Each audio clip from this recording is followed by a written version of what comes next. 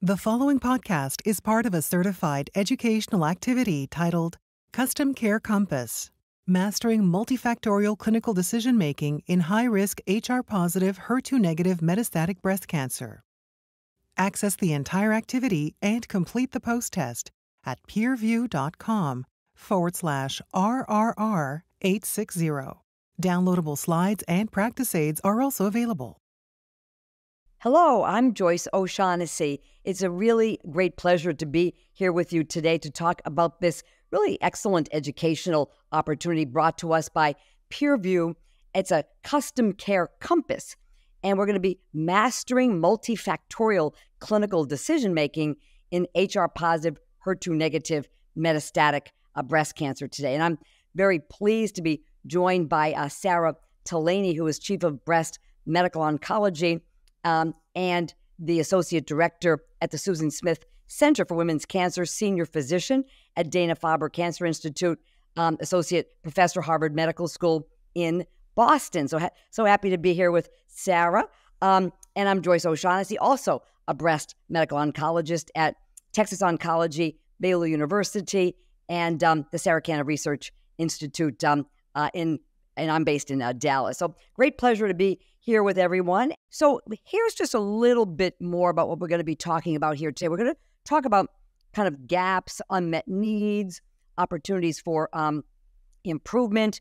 We're going to um, talk about some new data um, uh, with regard to overall survival in the first line HR positive, HER2 negative metastatic uh, disease section. We're going to talk about you know, what we know about the um, similarities and differences between the CDK 4 6 inhibitors, um, the various patient populations they were studied in, the efficacy data in the various um, subpopulations, and what does this mean for the real world setting, including choice of CDK 4 6 as well as management of uh, toxicities.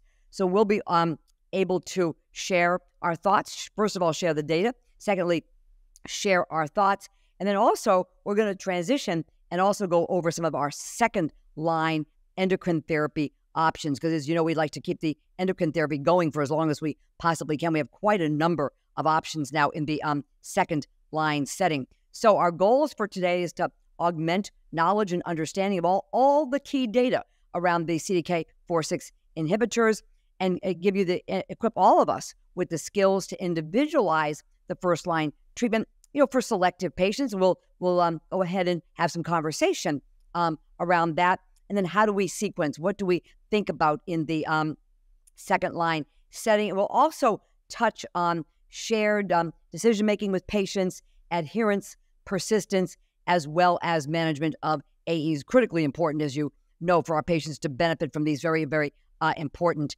uh, therapies. So let's go ahead and um, start with a case. So this is a 63 year old woman with a history of invasive carcinoma ductal of the breast, a PT2 and 0, grade 3, ER 90%, PR 50%, HER2 1 plus. She has a lumpectomy. Then she has adjuvant uh, docetaxel uh, cyclophosphamide. She has breast radiation therapy. And she takes um, her aromatase inhibitor for four years. Then she stops it because of continuous joint pain. Two years later, she has right hip pain and she's got lytic bone metastasis, and scans also show liver metastasis. Um, and she's got uh, bone disease in spine, hip, and ribs. She does have a biopsy of her liver, which does show uh, continuously a continued ERPR positivity, HER2 1 plus, and um, germline BRCA testing is negative. So please answer the polling questions related to this case and share with us via this poll what you would recommend as the first line treatment for this patient. We're going to come back after we go through some of the data. We're going to come back and have some discussion about how we would approach this patient with a, just a two year treatment free um, interval. So I'm going to turn us over to um, Sarah at this point. She's going to take us through the uh, so the first line data. No, thank you so much, Joyce. Um, you know, I think we've been really fortunate to have so much data available to us on CDK4/6 inhibitors, where we've now seen multiple phase three trials that have been presented um, looking at adding CDK4/6 inhibition to endocrine therapy for treatment of metastatic hormone receptor positive disease. And what's really pretty remarkable is across all of these trials, particularly in the first line setting, as you see here, the hazard ratios are really almost identical. Um, so hazard ratio of about 0.55, whether or not you gave palbociclib, ribociclib, or abemaciclib, and eh, you know across these various different trials, you can see in essence it was pretty much doubling the progression-free survival, which I think is really very remarkable. And you know one of the conundrums that we are seeing, though, is that the survival data isn't quite as consistent as the progression free survival across these trials. So we saw a very robust data emerge from MONALEESA 2, where adding ribociclib to an aromatase inhibitor in the first line setting did lead to a statistically significant improvement in overall survival, as you can see here, where you know the hazard ratio is point, about 0.76 and you can see you know a, a, survival that's around 64 months. So that's a big deal because it does mean that women are now living more than five years from the time of diagnosis of metastatic disease and that these agents are really allowing that to happen. So we've changed the trajectory of metastatic hormone receptor positive breast cancer. But yet this is not so consistent with what we saw in paloma 2 where we did not see a significant improvement in overall survival. And when you can look at the overall survival number, you see it's, you know, around 54 months. So this is different again than what we're seeing in MONALEESA 2. Obviously, one should never really cross trial uh, compare. Obviously, there can be nuances in different patient populations, but I think it was pretty shocking to most of us that there was not an OS benefit in this trial when we knew adding Palbo doubled the progression free survival. And yet, when we've looked at real world data for palbociclib performance, we actually see that there does seem to be a survival advantage. And so, again, it, it does seem a little confusing. You know, one challenge in Paloma 2 is that during the conduct of the trial, there were actually two approvals for palbociclib that occurred. And there were patients who did come off the study and um, go on, for example, to receive palbociclib at that point commercially. Um, and many of them um, were not did not consent to follow up for survival. And so they, they lost a number of people for survival data in Paloma 2. And so that has been a challenge, perhaps, with interpretation of that data, and maybe could be one of the reasons we see inconsistent data between Paloma 2 and real world data. Um, but then comes uh, Monarch 3. So, this is the registration study where abemaciclib was added to an aromatase inhibitor in the first line setting. And again, what we had seen was we knew that abemaciclib did, in essence, a double progression free survival. And we had previously seen data for survival from the second interim analysis, which showed a hazard ratio of 0.76. So, really identical to that hazard ratio we saw in MONALEESA 2. And here you can see there's a you know very striking delta about 13 months between the two arms. And so, you know, I think I was pretty blown away with the separation of these curves and really thought that the study would reach statistical significance given the very large um, difference between the two arms. And then um, at San Antonio this year, we did see the um, final overall survival analysis data. And now you see the hazard ratio is 0.80. And that while the overall survival is 67 months, it is not technically statistically significant. So even though again there's this very large 13 month delta between the two arms, it didn't reach statistical significance. And in fact, when you look at the subgroup with visceral metastases, you see this again very striking delta of now 15 months between the two arms. Um, you know, again, not statistically significant, but clearly very clinically meaningful. They also updated the progression free survival data at this final OS analysis time point. And again, very consistent, this hazard ratio 0.54 um, with what we've previously seen. But what I think is really cool is when you look at that landmark time point at around six years, actually 23% of patients on the abemaciclib arm are free of progression. And that to me is, you know, really very remarkable, right? That means that about a quarter of patients who start off on abemaciclib in the first line setting, when they get to year six, will be free of progressive disease and they'll still be on their first line therapy. And that is really a game changer compared to what we used to see was just endocrine therapy alone, where you can see it's only 4% at that six year time point. So I, I, think really nice. And nice to see, obviously, that it's delaying uh, time to chemotherapy by using, um, you know, CDK4/6 inhibition in the first line setting. And this is, you know, the forest plot looking at the progression free survival data, really suggesting that all subgroups are benefiting, whether, um, you know, someone had liver metastases, was ER, I sorry, it was PR positive or PR negative. It, it didn't really matter. Everyone was deriving benefit. You know, technically, you can see for people with the liver mets that the hazard ratio looks even a little bit better at uh, 0.45. But again, um, everyone's benefiting. So I think, you know, when I saw these data, I will say I was trying to figure out why it is that this large difference in survival was not statistically significant. And, you know, it's interesting because if you look at the time point where we saw that second interim analysis for overall survival, where we said, hey, the hazard ratio looks pretty much identical to MONALEESA 2, you know, at 0.76. I think it's important to sort of realize the nuances and the differences between the trials. So in Monarch 3, one thing to keep in mind is they did do a two to one randomization. And so that meant that the number of patients in their control arm is, you know, about half of what you see in MONALEESA 2's control arm. And so it does mean they have fewer patients. The other tricky thing is when they designed their statistical analysis, they decided to split the alpha between looking at overall survival in the intent to treat population and the visceral disease population. And that also, you know, for their final analysis, it actually occurred at a later time point. So if you look, um, it was at eight years. So this is longer, for example, than in MONALEESA 2. And obviously, as you follow people for longer and longer, people obviously can die, um, you know, from their breast cancer. They can die of other causes, uh, and so that can present some challenges um, because those deaths again can occur across either arm the longer and longer you go out.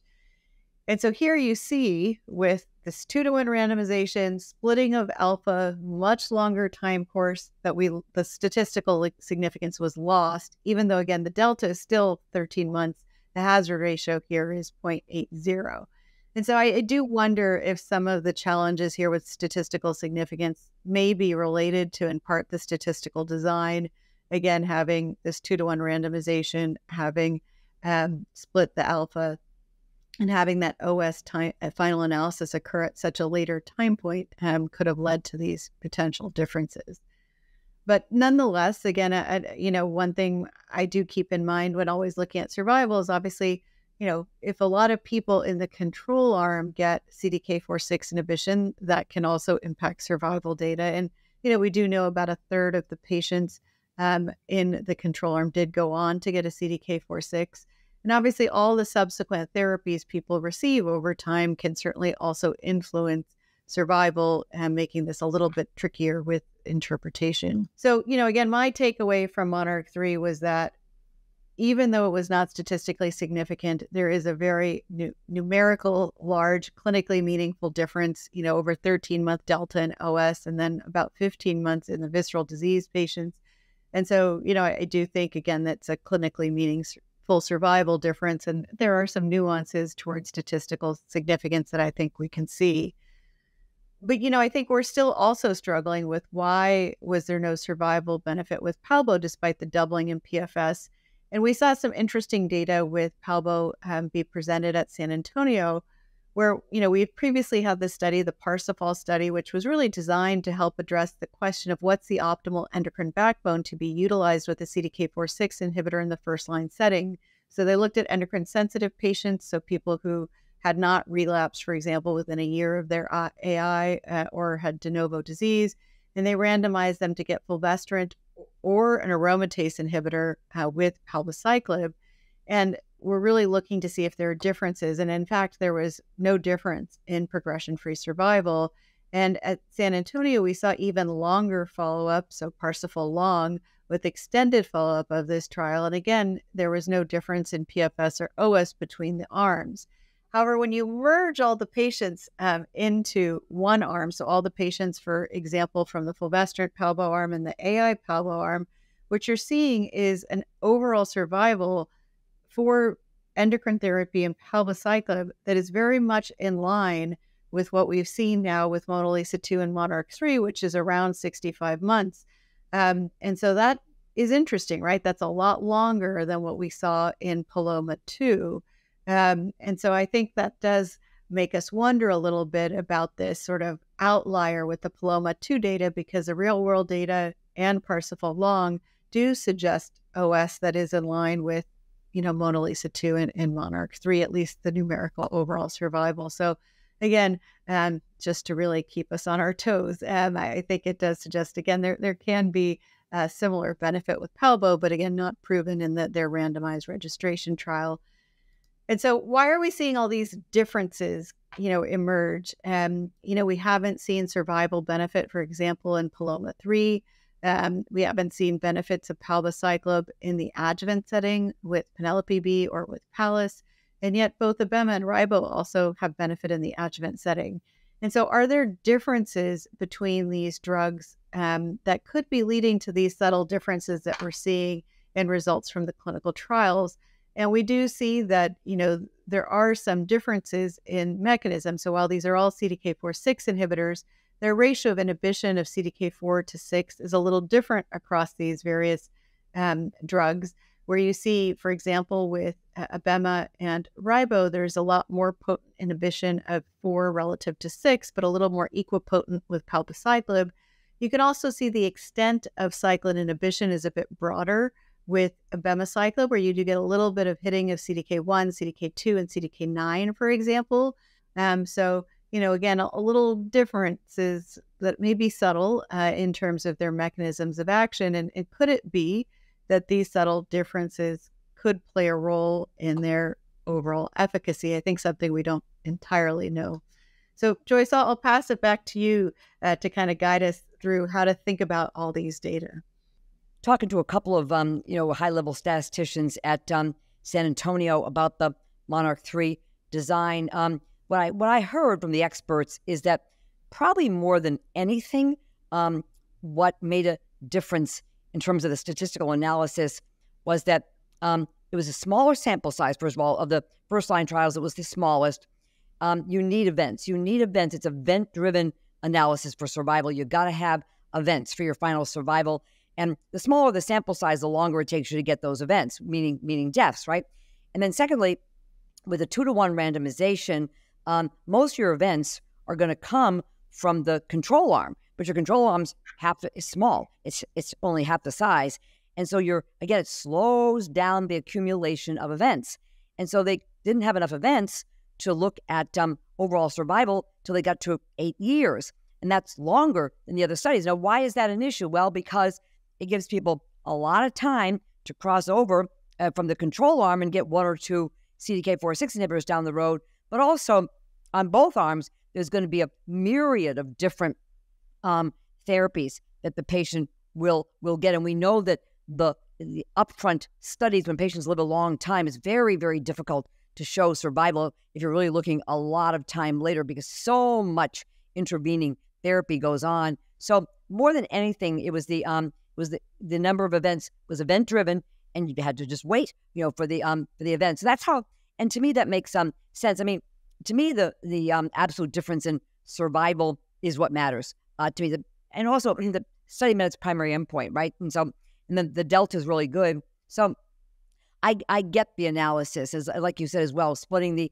alpha smaller sample size, um, et cetera. So um, you know, I, I get that. So it to me, it doesn't change the way I um, look at um, this. And um, I'll tell you in a second, we're going to come back to our patient here in a minute and, and um, talk about what we would recommend for this particular um, patient. So I'll, I'll mention at that time how I kind of parse out, you know, who to recommend what to.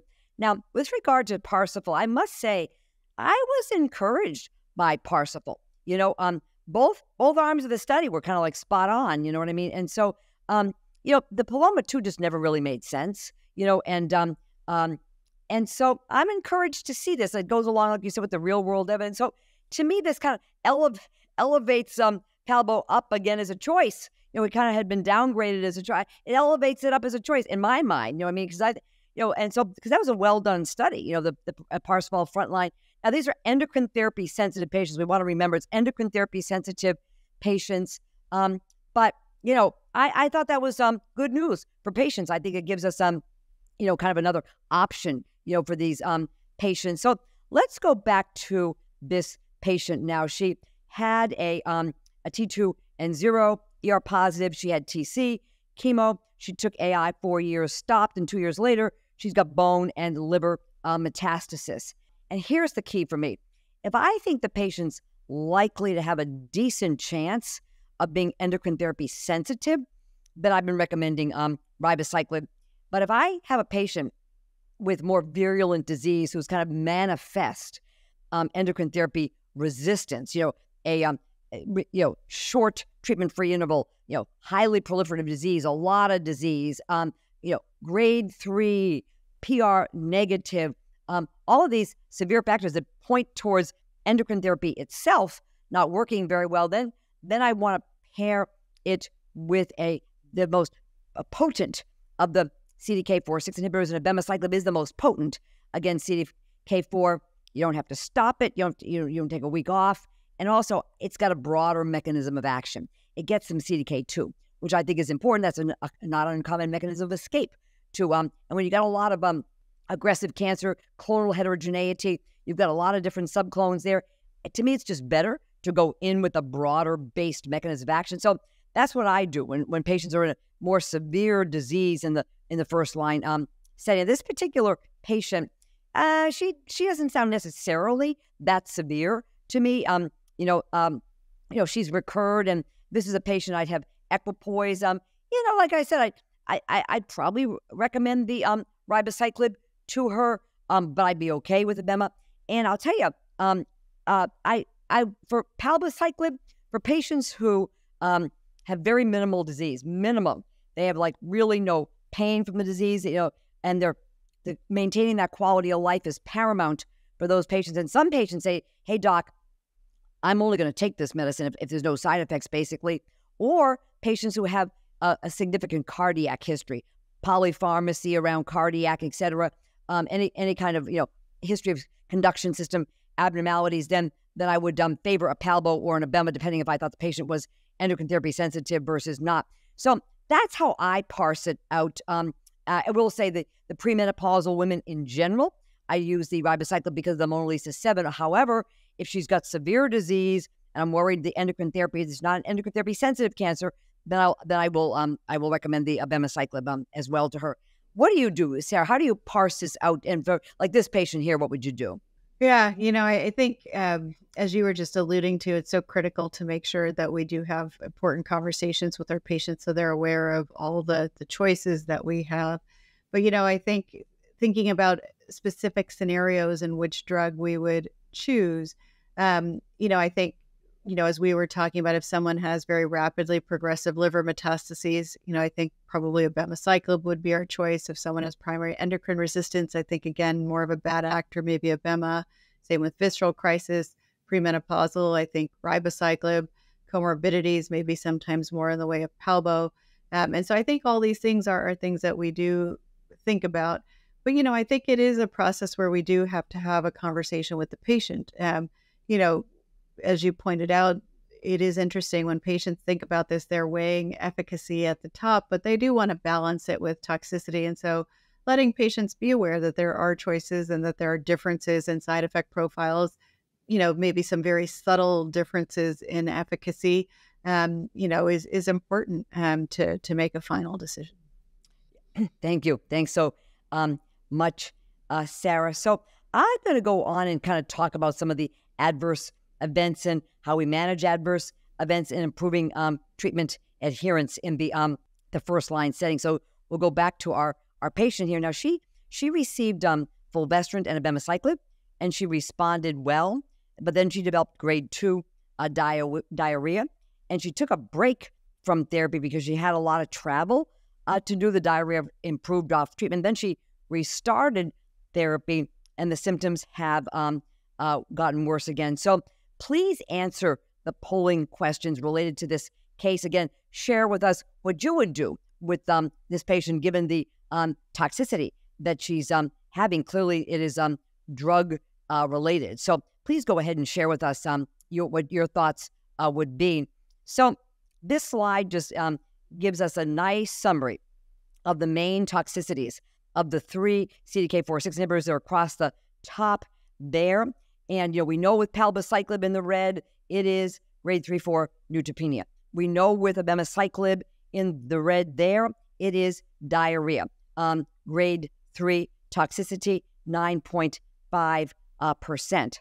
And then uh, grade, and then ribociclib we see over on the right, again, it's neutropenia. And there's less neutropenia. So again, for different patients, there are certain patients we need to avoid neutropenia on, you know, for example. Um, so these are just some um, patients we need to avoid diarrhea uh, on, you know, for example. So that's the main toxicity that we deal with with um uh with the um abemaciclib. So we're going to go ahead and start um uh, there.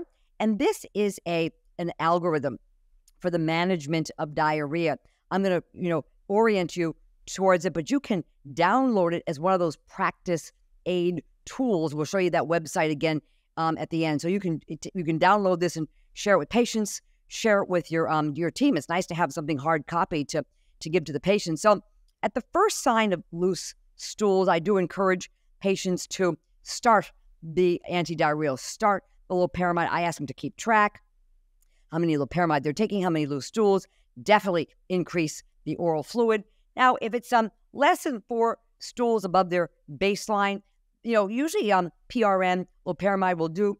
With with regard to abemaciclib, eating a bland diet, not a lot of not a lot of fiber, so raw fruits and vegetables, and and not um uh, heavy fatty meals or spicy meals, so blander for the first four to six weeks helps a lot. Grade two is four to six loose stools over baseline, and um, essentially, if it's persistent, we've got to hold the um the abemaciclib, and then when it resolves down to grade one or less, if it is then persistent, it just wouldn't stop or it recurred, we do need to go down the dose. And certainly for grade three and grade four, thankfully, was extremely rarely uh, seen. Um, but for grade three, uh, which is seven or more loose stools above baseline, we have to. And I tell the patients, stop. If you get, you know, more than a, you know, if you take several um, loperamide and you can't get the diarrhea to stop, or you, you know, it's really getting uh, severe, you just immediately stop. You don't call for permission, you stop, and then um, we'll, we'll we will help guide you here. So women just need to be empowered to to stop. We certainly need to wait until it's um stopped, and then and, and I usually will check for other you know other uh, t- uh, other causes of diarrhea as well, just to make sure there's nothing else. It could be like an antibiotic and C. difficile, et cetera. And then we we certainly have to do a um dose uh, reduction um at that point. Now, fortunately, and this is a, ni- a nice slide from Monarch 2 and Monarch 3, the two first and second line metastatic trials with the abemaciclib in patients who um, started at 150 had to get down to um, 100, or if they had to get down to 50 milligrams. In both trials, extremely reassuring. Look at those point estimates right on one in terms of effectiveness here. So this is just terrific. This is um, progression-free survival. We can really reassure patients that no, we want a dose reduce because we want you to be able to benefit from the medication, not have to come off of it, um, essentially. And so this was very interesting. This was a kind of an important national initiative called the Patient Centered Dosing Initiative. You know, a lot of our, our new agents are approved on the basis of the maximum tolerated dose. And now the FDA has required through the Optimus project, they want more information on the optimal dose before going into phase three. But historically, that was not the case. And um, so sometimes we'd, we'd be overdosing uh, some patients. And it turned out they, there was a national survey of patients with metastatic breast cancer, 1,200 patients, and, and the 119 uh, oncologists. And they quite a nice um, uh, surveys. And um, the bottom line was that the degree of toxicity that patients actually had was probably a bit more than was actually reported in clinical trials. Makes sense. These are real world patients with more in the way of um, comorbidities. More patients had to go to the emergency room or have hospitalizations. This is in general. This is not just CDK4 or 6. This is across uh, the board. And um, that so it was a bit more. And the bottom line was that um, these were important. They they resulted in missed treatments or or stopping the agent uh, prematurely before uh, progression. And so it, this it emphasizes the importance of patient centered dose discussions as part of the routine care. And I think that what we're coming to is in the metastatic setting, we want patients to stay on the therapy, particularly if it's benefiting them. And we're learning from study after study after study that you know dose modification, going down the dose. If patients started at the full dose and were benefiting, they have to go down the dose. They did not lose their benefit. So back to our patient, okay? So our patient really is not able to tolerate the full dose that we started her um, off on. So, Sara, how are you educating? What are you telling patients before they um, start? What's your follow up to see them? You know, you are one of your uh, other providers you work with. Um, how what what do you monitor when they um, come in? Like this patient here, what kind of a schedule should she be um, on? How would you manage um, the diarrhea um, in her case? Uh, would you consider dose reduction? What, how would you talk to the patient um, about it? And um, is there anything special you guys do with regard to adherence or or persistence? So, yeah. So, what do you what do you think there, Sara? Yeah, no, all very important questions. So generally, if someone's starting a abemaciclib, I usually bring them back in every two weeks for the first two months. So we actually do have them see us in clinic, not just get labs and locally and send them in, uh, because we do really want to make sure we're seeing them to to get an assessment also of their symptoms and how they're doing. Um, I do warn them up front, though, about the potential toxicities. You know, one thing the abemaciclib does come with loperamide, and so they have it on hand as needed, and we instruct them on how to use it. But we also instruct them to call us. So we don't want them waiting, for example, until their two week appointment if they're having issues. You know, median time to onset of diarrhea with the abemaciclib is about eight days. And so it will happen before your visit at that two week mark. So very important that they're aware uh, and that then can use loperamide as needed. But if they're having a lot of persistent diarrhea despite as needed loperamide, I do hold the drug and I kind of see how long it takes also for it to get better. If it's like better within 24 hours, then sometimes you can restart at the, the same dose. But if it's taking time to resolve, then I usually do start them with the dose modification. So going from 150 to 100. It was very nice that you showed the data that suggested it didn't really matter in terms of efficacy if they dose modified but I will say it makes a big difference in terms of tolerability. And so, you know, I, I do think it, it is important because I think people are able to um, stay on drug with less interruptions if, if that's the case.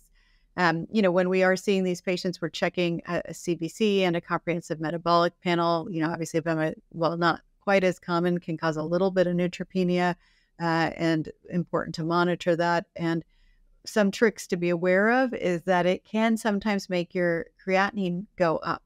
And it's not that it's usually actually causing any renal toxicity, but it's impairing creatinine excretion through the renal tubules. And so that number falsely looks elevated. And I think that sometimes gets us concerned. Obviously, if someone's having diarrhea, they could be pre renal too. And so you can send a cystatin C, and that will give you the GFR, and that will um, sort of remove the issue about the creatinine excretion being impaired. And so you'll get a true GFR with the cystatin C measurement. So sometimes I do that if I'm ever concerned if, you know, what the reason is for why their creatinine's elevated. And then you should also be looking, um, sometimes you can get slight elevation LFTs with abemaciclib. And so important to check that as well, again, every two weeks for the first two months. In this case, the patient's on fulvestrant.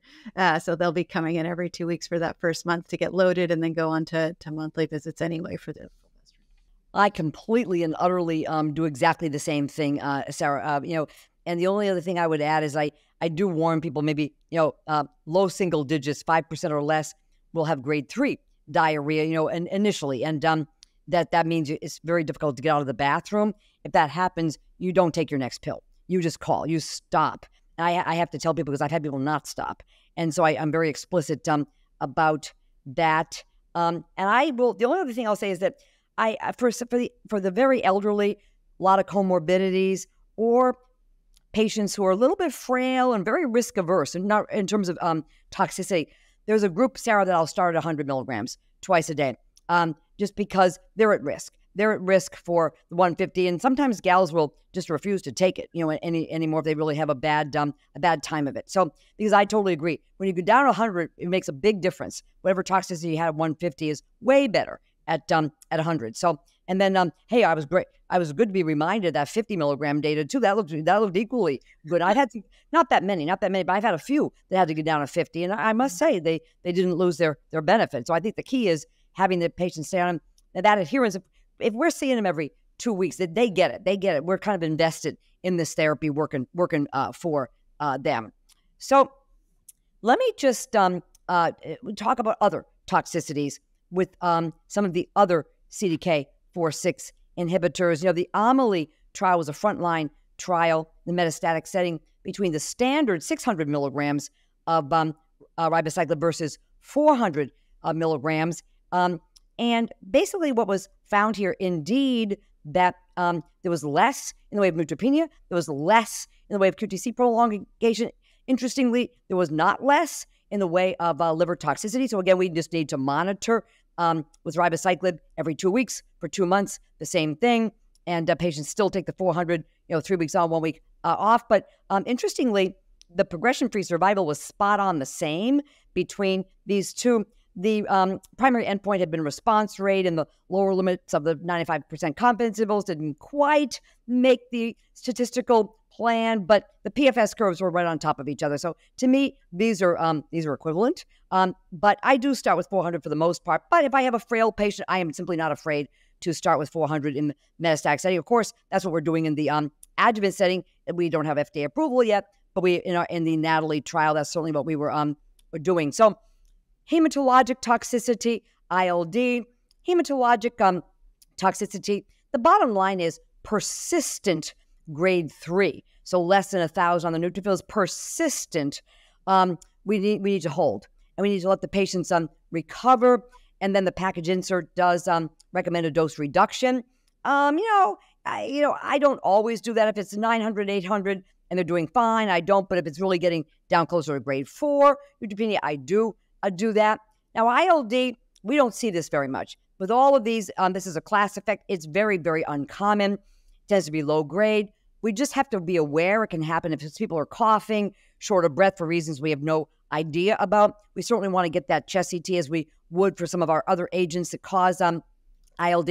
Again, we'd stop, we'd give some steroids, we'd get the patient to a pulmonologist. We just want to be aware that this is seen at a very, very low incidence with the um, CDK 4 6 inhibitors. Now, hepatobiliary toxicity, this is really an issue mainly with ribociclib, um, and lesser with um, abemaciclib, and even lesser with um, uh, palbociclib. But we just have to monitor. We have to monitor very clear algorithms here. You get grade two elevation of the liver function test. You hold it until patient's down to less than grade uh, two, and um, then a choice either um, go down on the dose or resume. I agree with you, Sara. If it takes quite a while to resolve, I think okay, we'll just uh, go down the dose. Um, but um, but there is the option. It was more mild and rapidly reversible to um, say the same dose. Grade three, we're going down on the dose. We're holding, we're recovering, we're going down on the dose, and then grade four, we're discontinuing uh, basically for hepatobiliary toxicity. QTC, this is a issue with ribociclib. It's a very low, it's a very low chance of the um, issue. We just have to be aware that some of our patients have polypharmacy because of other medical problems, or you know they're on methadone or you know higher doses of the SSRIs, et cetera. Um, so we just want to be aware that we should get um, uh, EKGs at baseline, and then at two weeks, and then uh, two weeks later, four weeks, and just measure that QTC. I, you know, I so rarely, rarely uh, see this, but um, it is something. It's it's a peak dose effect, so a dose reduction. If you're in the metastatic setting, you can go down from 600 to 400, and it, basically essentially goes uh, away. So it's a very, very uh, low, uh, low incidence. So that kind of summarizes there some of the new data and some of the approaches that we can take in that first line setting there, Sara. So let's turn to the, um, uh, you know, really the quite numerous options and growing that we have in the second line. So maybe you could take us through some of the data that we can kind of talk about, you know, how we apply this, you know? Yeah, no, you're right. There are lots and lots of choices here. So, you know, if we went back to our case and we said that um, our patient developed progression after being on uh, abemaciclib fulvestrant for 18 months, and we were left with this question, what do we do next? It isn't actually such a straightforward answer. Um, so we've seen data about whether or not we should continue a CDK4/6 inhibitor beyond progression from a few trials now. Um, the maintain study took patients and randomized them after progression on endocrine therapy and CDK to switch their endocrine backbone. So if they were on an AI, they switched to fulvestrant. If they're on fulvestrant, they switched to an AI, and to put them on ribociclib or placebo. The vast majority of patients in this study had been on palbociclib as their first CDK. So, in essence, for the majority of patients in this trial, they were also swapping the CDK4/6 inhibitor. And what they found was that those patients who got ribociclib in this second line setting, in essence, had a longer progression free survival than those people who just got endocrine therapy alone without the continuation of CDK4/6 inhibition. And so that made us wonder, you know, this is a randomized phase two. It's not a huge study, it's not definitive, but it did suggest that there's a group of patients who may be benefiting from this idea of swapping the endocrine backbone and continuing a CDK4/6 inhibitor, although in this case, they in most people here did also switch their CDK. However, when we look at trials that actually went on to give palbociclib as the next CDK4/6 inhibitor, such as PACE and PALMIRA, we actually didn't see a benefit from this strategy. So in PACE, what they did is they took patients who were progressing on their endocrine therapy, in this case in AI and in CDK, where the most people got palbociclib up front. But here now they're going on to get palbociclib at time of progression. So they're not really switching the CDK4/6 inhibitor for most people, but they did switch their endocrine backbone, meaning they went from AI to fulvestrant. So they were randomized to get fulvestrant with or without palbo, or to a third arm where they got fulvestrant, palbo, avelumab. That was more of an exploratory analysis to look at the triplet. The primary analysis was to really compare fulvestrant versus fulvestrant and palbo. And here you see no difference between fulvestrant and fulvestrant palbo. The PFS is really the same. Um, however, the triplet combination looked intriguing uh, with the longer PFS, and there is a lot of robust preclinical data to suggest that there may be synergistic activity between CDK4/6 and immunotherapy, um, which, you know, again, in this exploratory analysis suggests maybe that's the case. The challenge that we've had is that um, to date, most immunotherapy combinations with CDK4/6 inhibition have been pretty toxic. Um, for example, with the abemaciclib and pembro, we saw high rates of hepatitis and pneumonitis. With the avelumab in this trial, though, they didn't see that, and, and maybe that's just due to the PD-L1 uh, being utilized. But nonetheless, this did not show benefit to continuation of CDK4, and this PALMIRA study also didn't show benefit. So again, here going from endocrine therapy, um, Palbo to endocrine therapy, a different backbone in Palbo, and you see again no benefit. So I think it's a little bit confusing to know if it should be standard of care. I mean, we've seen a case series of abemaciclib being used post prior CDK, where most prior CDK was Palbo. And interestingly, the PFS in that case series was a little over five months, just like the maintain study, suggesting maybe there is a benefit towards abema post other CDKs. And so we will get more definitive data that will come out from post Monarch. This study has completed accrual where it did take patients who had progressed on a CDK that wasn't abema in essence, though, and went on to get fulvestrant placebo or fulvestrant abema. And so this will really address this question in a large randomized study and will tell us um, if using abema post progression on CDK with a different endocrine backbone has benefit. And so that, that will be very important data to have from a large, well powered study. We'll also have data from EMBER 3. This trial has also completed accrual, which is looking at imlunestrant, so the Lilly oral SERD, and comparing it to endocrine therapy of choice, in this case, exemestane or fulvestrant. So that's the primary analysis. But then they will also compare next imlunestrant to imlunestrant to BEMA. They're going to look at these analyses in the ITT population as well as the ESR1 mutant population. So we'll have to see what, what happens. But it could potentially end up suggesting maybe that even a third CDK could be an option on someone who's progressed on a prior CDK. And so this could be really interesting. Um, so I think this question about continuation of CDK4/6 inhibition beyond progression isn't yet definitively answered, but these two studies um, hopefully will get us there. Besides the idea of continuing CDK4 beyond progression, though, there are a bunch of other agents that have come out. Um, and so I think it's been an exciting uh, couple years actually to see so much progress being made. So she received abemaciclib and the uh, fulvestrant, or uh, sorry, the aromatase inhibitor in the um, first line setting, had 18 months progression free survival.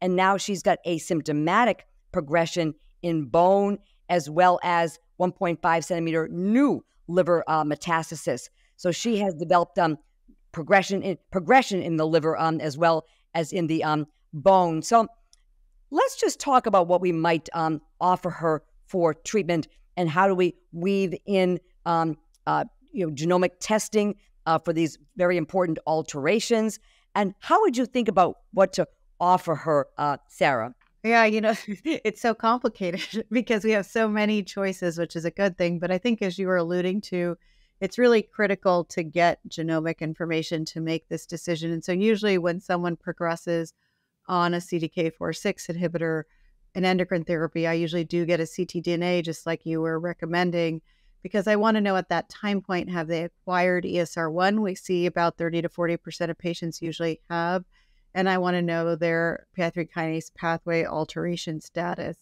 And so let's say uh, the patient comes back with an ESR1 mutation, then they could be a candidate for elacestrant. If they have a PI3 kinase pathway alteration, so PI3K, PK, AKT, or PTEN, I, I do think about endocrine therapy and capivasertib now that we have the Capitello uh, data with you know improvements in PFS. I'll say I, I haven't been using quite as much alpelisib, um, you know, because of the toxicity profile. And so having capivasertib as an alternative to alpelisib, I think is really nice. And I think I would sway a little bit if someone had a PI3K mutation towards capivasertib potentially over alpelisib in that setting. I think where it gets tricky is what if they've got both? what if they're uh, PI3K mutant and ESR1 mutant? Then what do you choose? And you know, I don't think there's a wrong or right answer here. One can think about sequencing therapies too. You know, you could give elacestrant now and then another endocrine therapy and, and capivasertib next, or vice versa. You know, we saw the data at San Antonio that suggested the PFS in the people with prolonged benefit to CDK and were PI3K altered um, and had ESR1 seemed to, to do similarly to the ESR1 mutant population but I will say we have to be cautious about these data. It's like, you know, multiple subgroups of subgroups without with tiny numbers and not pre-planned analyses. But, you know, in general, if you had that patient, I think it would be okay to think about um, you know, either option and trying to sequence them. But, you know, you do start to run out of endocrine therapy backbones because this patient's, you know, um, you know, if they, for example, already got fulvestrant and someone's maybe in this case she didn't progress directly in on an AI, but she, if she had, you know, then you, are starting to get into trouble with lots of choices for endocrine backbone. And sometimes I'm recycling fulvestrant in that case to give capivasertib. So it is, it, it is a little tricky. Um, how do you think about it, Joyce, with all these choices? Do you have a clear um, uh, path in your head? uh, well, I, I, I again, uh, really totally agree with you. Um, in her case, you know, she I'm assuming she's got normal liver function tests. She we are told she's asymptomatic. This might be a good time to give her an um, elacestrant if she's got an ESR1 mutation, even if she's got um, a, a concomitant PIK3CA mutation. On the other hand, if, if a woman was having more virulent disease, you know, more liver disease, very painful bone metastasis, you know, abnormal liver function, I would lean towards the, and I agree with you, capivasertib plus um, the uh, fulvestrant. And um, and then even if she had an ESR one, then I would, if she gets a nice result, um, sometimes these cancers, if you you know do a good job inhibiting the PI3 kinase pathway, they can escape through the estrogen receptor. So if she still had ESR one, uh, mutations in her in her blood after progressing on fulvestrant capi, I would offer her a um, elacestrant then. But my tendency is to try to match the severity of the treatment a little bit with the severity of the disease in terms of symptoms. So I probably would lean towards the elacestrant if she had an ESR1 um, mutation. And then, you know, if she did not have um, any uh, any of these alterations, um, you know, I don't tend to use the everolimus um, in patients with liver metastasis. Myself, I just have had not had good luck with exemestane and everolimus uh, immediately upon progression on a CDK4/6 um, inhibitor. So in that case, I would lean towards um, uh, cape capecitabine uh, myself. But I try to stick with the endocrine therapies for as long as possible. Look forward to the post monarch data and to the Ember Ember three data um, as as well. So, Sara, this brings us to the um, end of our, you know, uh, our the treatise here that we've uh, put together for HR positive metastatic um, breast cancer. Maybe you could just um, give us a give kind of give us a, a summary overview of this um, algorithm. Well, it's very simple. so clearly, this is getting more complicated as we get so many choices. So, you know, in my mind, I do think the one simple thing is you should give a CDK4/6 inhibitor and endocrine therapy as your first treatment. I, I, do really feel strongly that you know seeing that there is survival benefits i do like to use that up front. I know we've seen some data from sonia um, but i will say that I, I don't quite feel confident in a delay of cdk4-6 based on that trial. It was not designed for non-inferiority and so i think we have to be cautious.